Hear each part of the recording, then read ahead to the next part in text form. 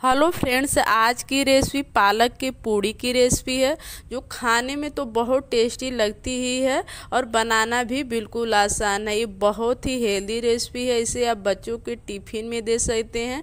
अगर आपके बच्चे पालक नहीं खाते हैं तो इस तरीके से आप उन्हें खिला सकते हैं।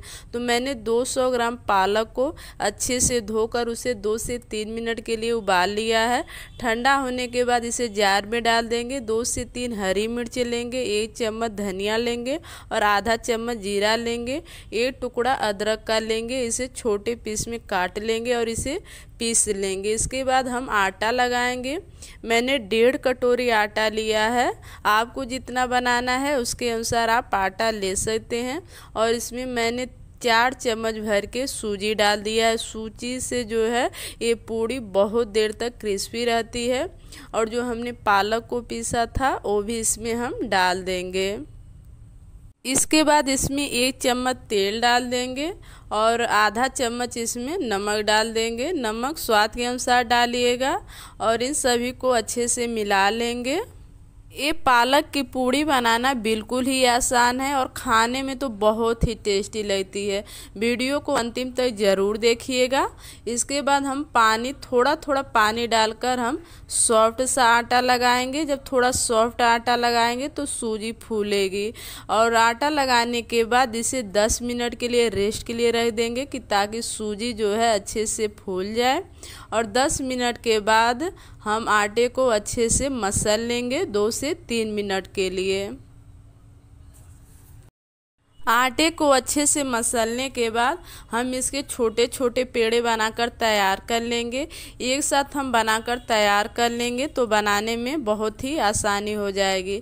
देखिए, मैंने पेड़े जो है अच्छे से बना लिए हैं। अब इस पर जो है थोड़ा सा सूखा आटा लगा लेंगे एक साथ और इसके बाद हम पूड़ी जो है बेल लेंगे। पूड़ी को ज़्यादा पतला नहीं बेलेंगे, मीडियम ही बेलेंगे, ज़्यादा पतला बेल देंगे तो पूड़ी जो है वो अच्छे से फूलेगी नहीं। और एक साथ जो है सारे पूड़ी हम बनाकर तैयार कर लेंगे। देखिए, मैंने सारे पूड़ी बनाकर तैयार कर लिए हैं और तेल को मैंने पहले ही रख दिया था गैस पर गर्म होने के लिए। तेल जो है बहुत अच्छे से गर्म होना चाहिए, तभी पूड़ी जो है अच्छे से फूलेगी। मैंने दो पूड़ी एक साथ डाल दी है और इसे हिलाते डुलाते हुए पूड़ी को हम तलेंगे। इससे जो है पूड़ी बहुत ही अच्छे से फूलेगी। पूड़ी को हम मीडियम टू हाई फ्लेम पर ही तलेंगे। जब हाई फ्लेम रहेगा तो पूड़ी बहुत ही अच्छे से फूल जाएगी और इसे दो से तीन मिनट में पूड़ी तलकर तैयार हो जाती है। देखिए कितनी अच्छे से पूड़ी फूली हुई है, देखने में अच्छी लग रही है। पूड़ी अच्छे से तल चुकी है। अब हम इसे एक प्लेट में निकाल लेंगे और ऐसे ही बाकी बची हुई पूड़ी को भी हम तल लेंगे। देखिए, देखने में कितनी अच्छी लग रही है। अगर आपको ये वीडियो पसंद आती है तो प्लीज़ मेरे वीडियो को लाइक ज़रूर कीजिएगा और चैनल को सब्सक्राइब भी कीजिएगा और ये बार ये पालक की पूड़ी ज़रूर ट्राई कीजिएगा। आपको और आपकी पूरी फैमिली को ज़रूर पसंद आएगी तो प्लीज़ वीडियो को लाइक भी ज़रूर कर दीजिएगा।